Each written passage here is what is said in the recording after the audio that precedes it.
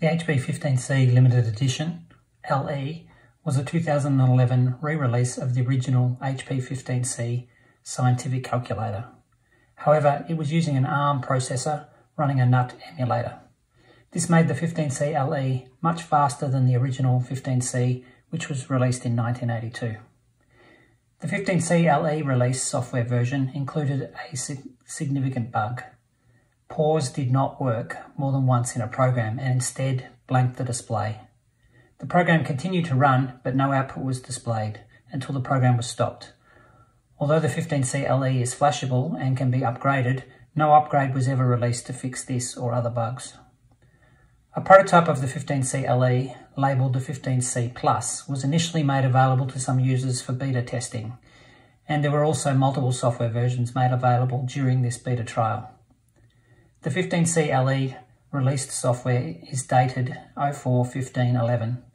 There are also at least two beta software releases which are dated 04-11-11 and 08-03-09.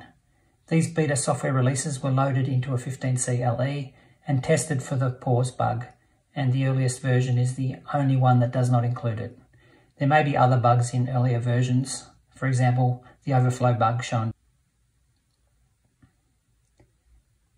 Here is the 15C LE release software version and checksum as shown by the self-test option 2.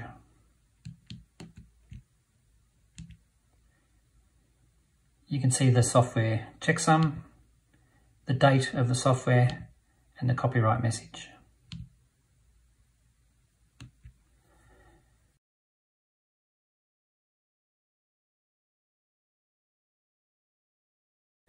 A simple program will now be shown to demonstrate the pause bug. Label A, two times, pause, go to A, done. Run the program. So we can see the first pause is executed successfully and the results displayed, then the screen goes blank. If we stop the program, we can see that it's continued to run and we can see the result. Uh, another thing to note is the overflow feature, which operates correctly with this version of software. The 15C LE can be flashed with different software using the original HP serial cable, just shown here. These cables are hard to find these days, or you can make your own. The original cable is used here on Windows 10 with a USB to serial adapter to downgrade that 15C LE to the software dated 080309.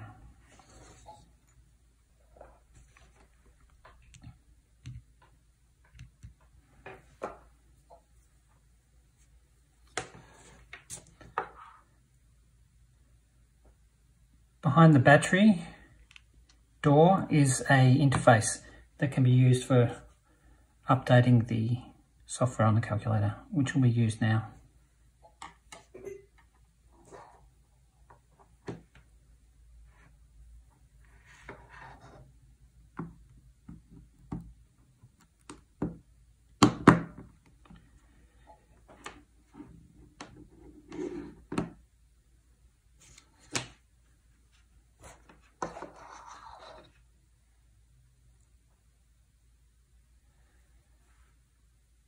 Once the cable is connected, there are specific key sequences on the calculator and the cable to begin the programming.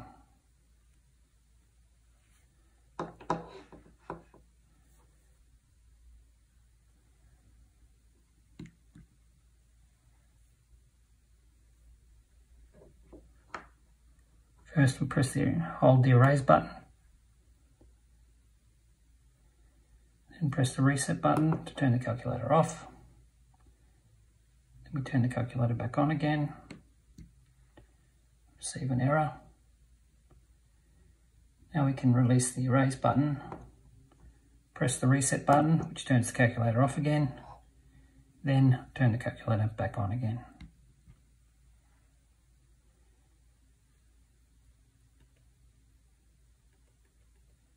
Now we use the MySamba program to select the software version we want to download.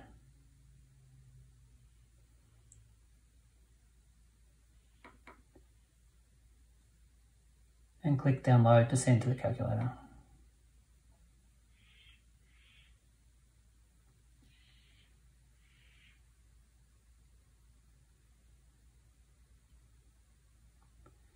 takes about 20 seconds to download the 128K software update.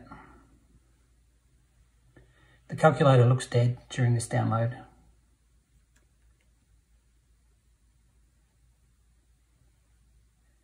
Once the download is completed, press the reset button.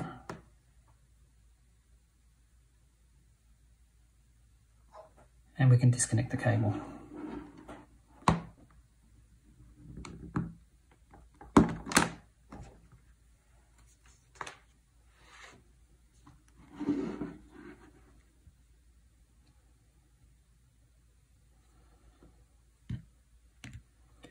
Calculator's been reset. Now we can verify that it's running a different version of software by going into the self-test and selecting option 2. We can see a different checksum, a different date of the software.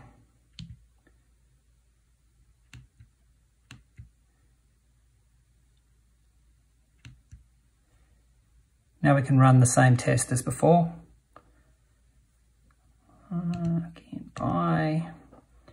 in exactly the same program. Label A, two times, pause, go to A, exit program mode, and run the program. We can see the pause is functioning correctly and stopping at each result and then looping and continuing.